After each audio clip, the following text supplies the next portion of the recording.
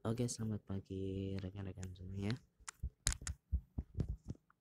Uh, hari kali ini saya akan membuat sebuah hmm, tutorial ya. Bagi teman-teman mungkin ada sebagian yang bingung uh, gimana cara uh, memesan sebuah makanan di GoFood atau Gojek ya. Oke, untuk teman-teman uh, silakan uh, untuk uh, menginstal atau memasang aplikasi Gojek. Nah ini saya udah dipasang biasa ya. Masangnya pakai Playstore nah kalian pasang.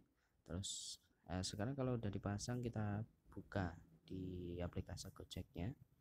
Ya, tapi untuk yang pertama biasanya harus login dulu makanya harus membuat akun dulu nah, buat akun dengan email kalian. Nah seperti ini nanti tampilannya. Nah seperti ini saya udah masuk ya udah masuk akun saya. Oke langsung saja. Untuk pilihan ini ada beberapa pilihan. Pertama ada GoRide GoCar GoBlue Bluebird GoFood GoSend GoPulsa GoShop GoMart GoTik GoBook dan lain-lain ya kita untuk hari ini akan mempraktekkan yaitu GoFood. Nah, untuk pesan di GoFood, kalian uh, silahkan uh, untuk menekan di pilihan GoFood ya. Contohnya ini GoFood. Nah, ini ada seperti ini ya. Nah, selamat berbuka puasa karena ini pas puasa ya. Terus lanjutkan. Nah, ada beberapa pilihan yang nanti ada buka puasa, sahur, ter uh, terdekat uh, nanti menunya terdekat mana terlaris gratis antar 24 jam menu hemat menu sehat menu favorit. Nah di situ ada beberapa pilihan ya untuk uh, makanan-makanan. Uh, nah, saya akan mempraktekkan uh, contohnya kita cari uh, toko yang akan kita beli. Contohnya saat ini Krusty Pizza ya. Krusty Pizza. Kita akan beli pizza ini Nah, di sini ada Krusty Pizza. Kita klik aja Krusty Pizza. Untuk saat ini masih tutup ini Krusty Pizza. Karena masih pagi banget ini saya buat tutorial ini masih pagi ya jam 5.53 masih tutup. Nanti kalau udah buka di sini tinggal nah, pesan aja ya. Pilihan tambahan. Nah, oke. Okay. Nah, kita cari lagi yang masih buka ya. Yang sudah buka.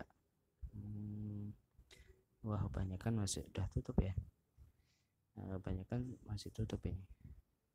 Nah ini Hokben Rama mencoba ya dari Hokben nah ini contohnya di sini bisa tambah. Kita tanya Tokyo Politoridon nah harganya 28.350 kita tambah.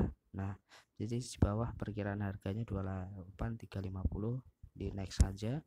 Nah di sini ada pesanan Anda. Ini pesanannya kalau emang mau menambah catatan di sini catatan mungkin hmm, uh, sesuai aplikasi. Aplikasi ya mas. Nah, itu mungkin contohnya. Atau mungkin mau nambah pesanan lagi. Nah, di sini mau nambah pesanan. Nah, contohnya nah, nambah pesanan. Nah di sini ada alamat pengantaran. Nah di sini ditulis kita cari titik yang akan dikirim kita ya mungkin contohnya ke Bulak Sentul Raya. Nah titiknya ke Bulak Sentul Raya ya. Nah ini misalnya oke okay, set. Nah terus alamatnya nah ini. Alamatnya ini ini, ini di note ini. Nah jadi di note ini nanti silahkan ditulis sesuai dengan alamat mas-mas atau mbak-mbak ya. Mungkin alamatnya oh di belakang sekolahan atau di tepatnya di masjid apa? Atau tepatnya di nomor ini RT ini RW ini rumahnya bapak ini. Nah itu dikasih keterangan dan dikasih nomor HP kalau memang uh, kita yang dituju itu uh, bukan uh, alamat yang punya akun. Di situ dikasih keterangan dan nomor HP-nya dan nama penerimanya ini perkiraan harga ya. Ini 59.850 nah, biaya antarnya 16 kilo itu 11.000 total harganya 70.850 nah ini ini pakai tunai. Kalau pakai GoPay biasanya harganya berbeda. Nah, kalau sudah sudah seperti ini sudah lengkap, langsung uh, klik aja pesan. Karena ini saya nggak pesan deh klik aja pesan terus menunggu drivernya nanti akan mengirim barang kalian ya. Oke itu aja mungkin uh, untuk uh, cara ke uh, memesan di GoFood adapun nanti uh, tutorial-tutorial yang lain ditunggu aja ya. Oke terima kasih. Uh, jangan lupa subscribe uh, untuk channel uh, RGM agar kami semangat di dalam membuat tutorial tutorial berikutnya. Oke terima kasih. Assalamualaikum